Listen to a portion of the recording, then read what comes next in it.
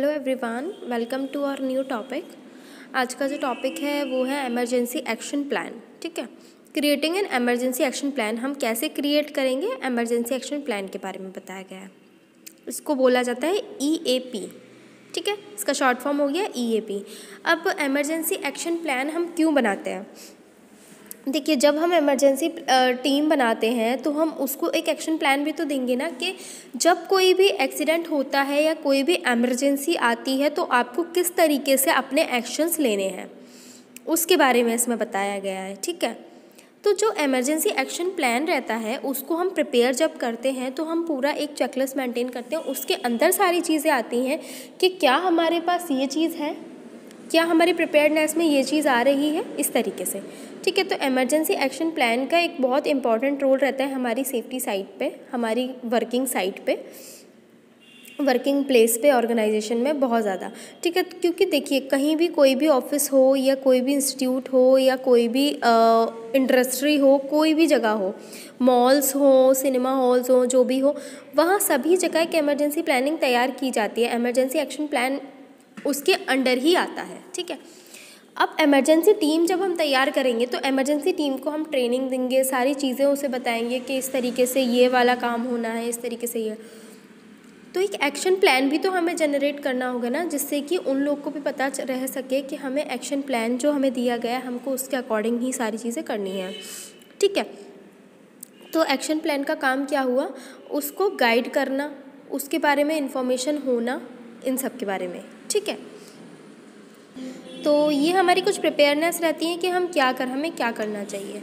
ठीक है? तो सबसे पहले हमें अपने सेशन का जो भी इसके लिए एक्शन प्लान के लिए हम क्या करेंगे? पहले एक मीटिंग बिठाएँगे, एक ट्रेनिंग प्रोवाइड करेंगे। तो आपको ये पता होना चाहिए कि आपका उस सेशन का इंचार्ज कौन है।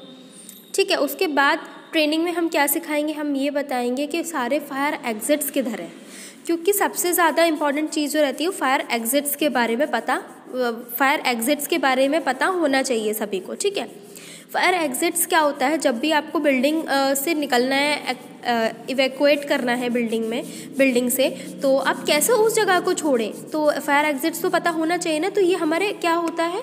इमरजेंसी प्लानिंग के अंदर ये हो गया। इमरजेंसी प्लानिंग के अंदर क्या हो गया? जब आपने प्लानिंग करी तो उसके अंदर आगे आपके फायर एग्जिट्स कहाँ कहाँ देने हैं। और जब आप एक्शन प्लान बनाएँगे तब ये हो, ये जब ट्रेनिंग देंगे तब सभी को अवेयरनेस होनी चाहिए कि आपके कहाँ कहाँ वो एग्ज़िट प्लान है, ठीक है?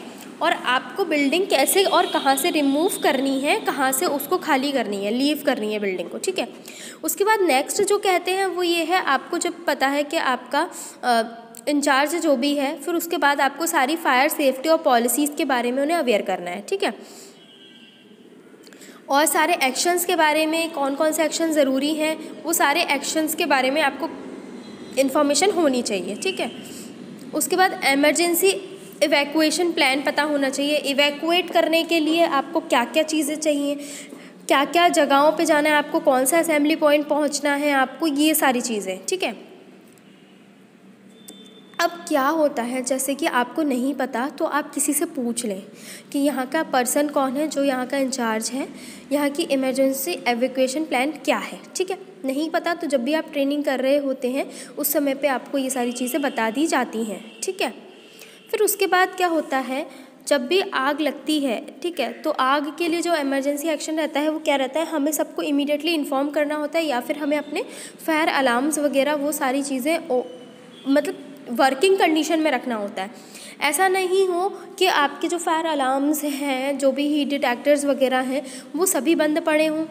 बंद होंगे तो आप कैसे इन्फॉर्म कर पाएँगे कि यहाँ आग लगी हुई है? ठीक है। तो इस चीज़ पे भी ध्यान रखना है आपको कि आग लगी है तो आप शाउट करें इमीडिएटली शाउटिंग शुरू कर दें फायर फायर करके आग लगी है। ठीक है।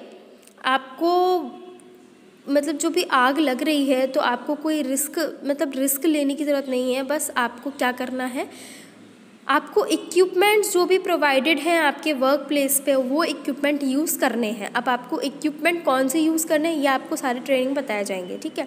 ए क्लास फायर है बी क्लास फायर है सी क्लास फायर है डी क्लास फायर है, उसके हिसाब से आप इक्विपमेंट यूज़ करेंगे, ठीक है? एक्सटिंग्यूशर यूज़ करेंगे, ठीक है?